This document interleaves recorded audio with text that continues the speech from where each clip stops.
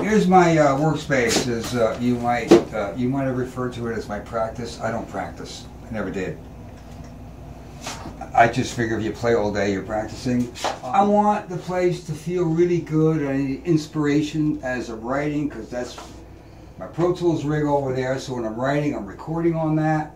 I don't use that for my internet or social media, nothing. I do that up in the kitchen so I can look out in the woods and, you know, feel comfortable doing that and have my coffee. And you need the inspiration, you know.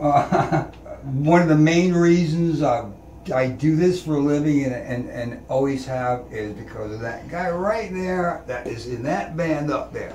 It's uh, great having, you know, a little memorial of, you know, of DB around, you know, makes me happy thoughts and remembers all the cool stuff that we did together and uh, you know it's uh, it's this is my happy little fun room. It's relaxing and it's cool and I can do anything I want down here. I can you know make noise late um, smoke cigarettes.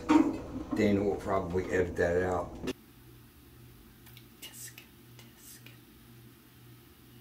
Uh, anyway uh, is a remnant from the 2004 tour. And, you know, when push comes to shove,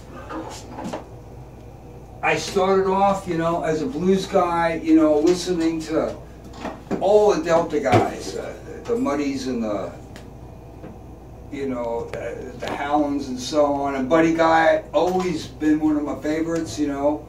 And uh, I was fortunate enough to become very good friends with him a few years ago. And, uh, damn, you want to talk about having a whole nother learning experience with Buddy Guy.